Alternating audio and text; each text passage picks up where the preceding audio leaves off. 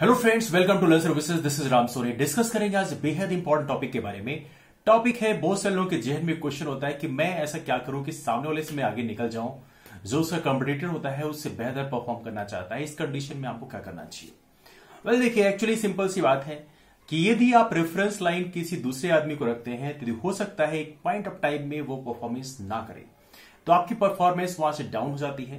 यदि परफॉर्मेंस करना शुरू करता है, आपको नहीं पता वो कौन कौन से एरिया में काम कर रहा है तो आपको पता ही नहीं चलता। एक ऐसे अननोन जोन में आप चले जाते हो, जहाँ पे आपको प्रेडिक्ट करना बहुत मुश्किल आता है। तो यहाँ पे मैं आपको सजेस्ट करूँगा कि आप दूसरे वाले को रेफरेंस दूसरे किसी इंसान को रेफरेंस लाइन बनाने की बजाय अपने आप को रेफरेंस लाइन बनाए, अपने आप से कंपीट करें। जैसे मान लीजिए कल का परफॉर्मेंस आपका जो भी रहा है, कोशिश करें उसमें थोड़ा सा ही वैल्यूडेशन करें, लेकिन करें। यदि कल आपने एक घंटे पढ़ाया तो आप एक घंटे, एक मिनट पढ़ें। कल यदि आपने एक टॉपिक कंप्लीट किया है तो आज 1.1 टॉपिक कंप्लीट करें मतलब एक टॉपिक कंप्लीट करने के बजाय उसमें थोड़ा सा और एडिशन करें, दूसरा टॉपिक भी थोड़ा सा टच करें तो कहीं ना कहीं अपनी लाइफ में जो आपके काम करने की शैली है, उसमें value addition every single day करें। तो यहाँ पे एटलीस्ट आपको रेफरेंस लाइन होगी, कहाँ पे मैं काम कर रहा हूँ, कहाँ पे मैं काम नहीं कर रहा हूँ।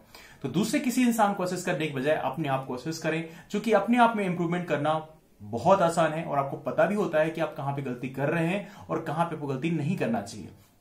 This a very very important point I hope so इससे आपको बेनिफिट मिलेगा और डेफिनेटली आप दूसरे वाले को दूसरे किसी इंसान को फोकस करने के बजाय अपने आप पे फोकस करेंगे। सो फोकस यानी यू सेल्फ अपने आप को कंपीट करें अपने आप को पीछे छोड़ें अपने आप की जो एक्टिविटीज़ कल तक थी उससे थोड़ी एक कदम आगे, आगे निकलने की कोशिश करें।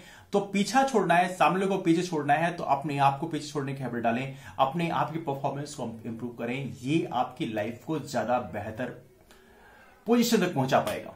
एनीवे anyway, ये रहा हमारा डिस्कशन आपको बताइए ज़रूर कि आपको वीडियो कैसा लगा।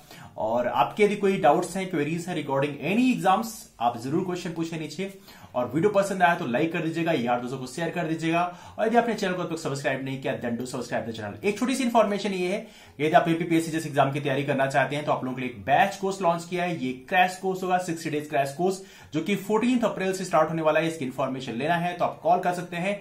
नंबर है double eight two six zero double three zero four मिलते हैं फिर आप लोगों से अगले वीडियो में तब तक के लिए bye take care thanks so much